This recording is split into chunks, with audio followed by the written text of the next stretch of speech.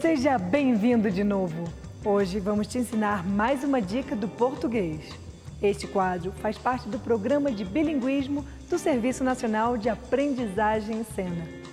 Olá, Filipinho!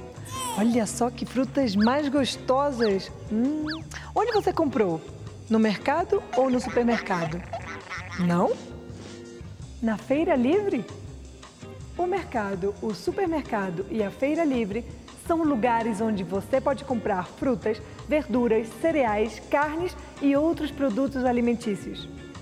O mercado é um lugar especializado na comercialização para venda de atacado e varejo.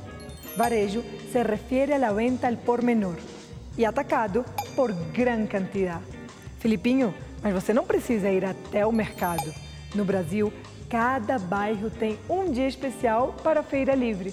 Ali você pode comprar de tudo, além de comer pastel de feira. Hum, toda feira tem pastel. As frutas mais populares numa feira livre são o abacaxi, a laranja e a banana. E geralmente você pode comprar por dúzia ou por meia dúzia. Uma dúzia é uma docena e meia dúzia é meia docena. No supermercado pode comprar de tudo: ovos, leite, até sabão em pó e shampoo. A Filipinho não esquece de pedir sacola ecológica. Bom, por hoje é só. Não perca as dicas de português do TV Web Cena no próximo programa. Tchau, tchau.